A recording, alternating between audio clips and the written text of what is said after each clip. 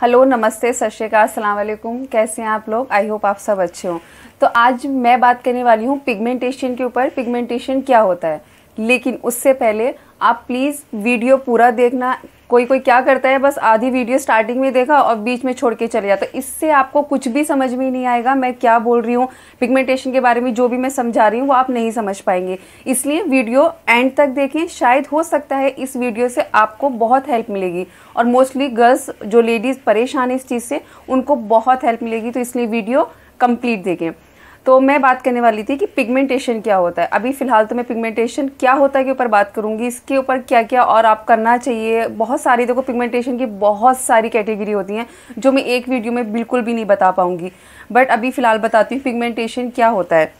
All skin type all beautiful सब girls अच्छी होती हैं, कोई ऐसा नहीं ख़राब होती है। बट कुछ केसेस में क्या होता है, कुछ चीज़ों में समटाइम हम बाहर जाते हैं, और बाहर जाना भी पड़ता है।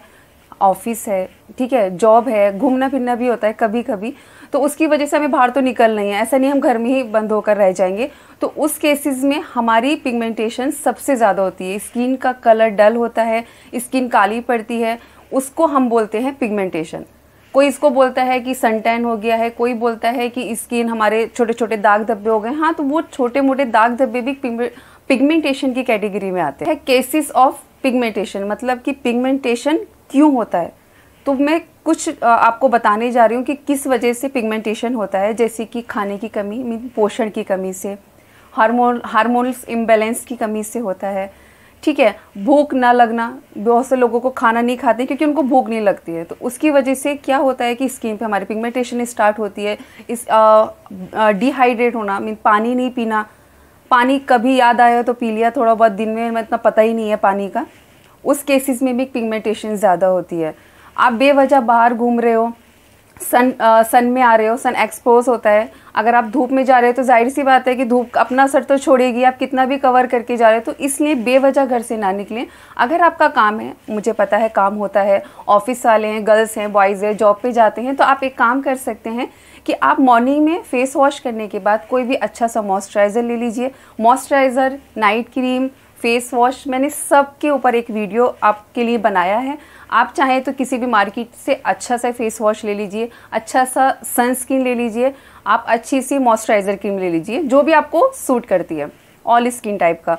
बट सनस्क्रीन मस्ट है, जैसे कि खाना खाना मस्ट है, उसी तरीके से हमारी स्किन के लिए बाहर जाने से पहले सनस्क्रीन मतलब लगाना ही लगाना है। ये वीडियो में मैं कम से कम जितनी वीडियो मैंने अपलोड की हैं चाहे वो शॉर्ट हो चाहे वो आ, फुल वीडियोज़ हो मैंने सब में यही बोला है कि प्लीज़ बिना सनस्क्रीन के आप बाहर ना निकलें और जिनको ये प्रॉब्लम है मेन पिगमेंटेशन का उनको तो बिल्कुल भी नहीं निकलना है।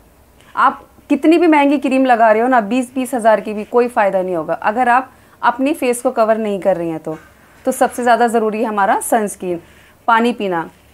देखिए पानी पीने की आपने बहुत सारी वीडियो देखी होंगी कि पानी ज़्यादा भी नहीं पीना चाहिए, कम भी नहीं पीना चाहिए। तो पानी इतना पीजिए कि हमारी जो बॉडी है डिहाइड्रेट नहीं हो। हमको ऐसा फील नहीं हो कि हमारे अंदर कुछ है ही नहीं। तो उस वजह से हमारी स्किन पे क्या होता है, रूखापन आता है। रूखापन होने के बाद वो पिगमेंटेशन छोड़ जाता है। जो जगह जगह आपने देखा होगा ना वाइट ड्राइनेस आती है स्किन पे, वो पिगमेंटेशन छोड़ जाती है। स्टार्टिंग में नहीं पता चलता है। इसलिए अपनी बॉडी को डिहाइड्रेट करें पानी पीजिए अच्छे से, खाना खाइए। खाना कम से कम दिन में तीन बार तो देखो बोला गया मतलब सुबह, दोपहर, शाम। तो सुबह में लोग क्या करते हैं ब्रेकफास्ट ऑफ़िस की वजह से नहीं खा पाते हैं। ठीक है टाइम नहीं मिल मिलता होगा। तो प्लीज़ उसमें अगर आपको थोड़ा सा भी टाइम मिल रहा है तो अच्छा सा कोई जूसेस ले लीजिए। जूसेस के ऊपर मेरी बहुत सारी वीडियो हैं। स्किन चाहे वो आपके एक्ने आपका ऑयली स्किन है, आपका ड्राई स्किन है, आपका कॉम्बिनेशन स्किन है, आपकी नॉर्मल स्किन है, सबके लिए मैंने एक जूसेस का भी आपको वीडियो अपलोड किया है, आप जाके चेक कर सकते हैं। आप वो पीजिए। आप होम रेमेडी भी यूज़ कीजिए। सारी चीज़ें आप दूसरे पे मत छोड़िए कि आपको एक क्रीम दे दी गई है कोई भी कुछ भी लगाने के लिए तो आप बस हाँ ठीक है, हम तो क्रीम यूज़ कर रहे हैं, हो गया बस। नहीं, अपनी कुछ बातों का भी ख्याल रखना होता है। अगर आप अंदर से अच्छे हैं, अंदर से अच्छे होते होते वो बाहर से भी फिर अच्छे हो जाओगे एक दिन। ठीक है? और क्रीम हाँ मेरी क्रीम तो आप सब जानती है, मैं देवरीज के बारे में मैंने बताया है कि वो नाइट क्रीम है, एक डे क्रीम है। और कैसे लेनी है क्या करना है मैंने सबको बोला है आप कमेंट्स कर सकते हैं। मैंने डिस्क्रिप्शन बॉक्स में मोस्टली में मैंने सब लिख रखा है आप उसको जाके पढ़ लीजिए एक बार। मैं इस वीडियो के डिस्क्रिप्शन बॉक्स में भी लिख दूँगी क्रीम्स के बारे में।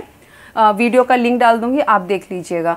तो मेन ये है कि पिगमेंटेशन बहुत ज़्यादा मतलब माना अगर देखा जाए तो ख़तरनाक वैसे ख़तरनाक नहीं है कि आपको कोई बीमारी ऐसी हो गई लेकिन ख़तरनाक इस वजह से है कि हम कहीं पे भी जाते हैं तो अनकंफर्टेबल फील करते हैं।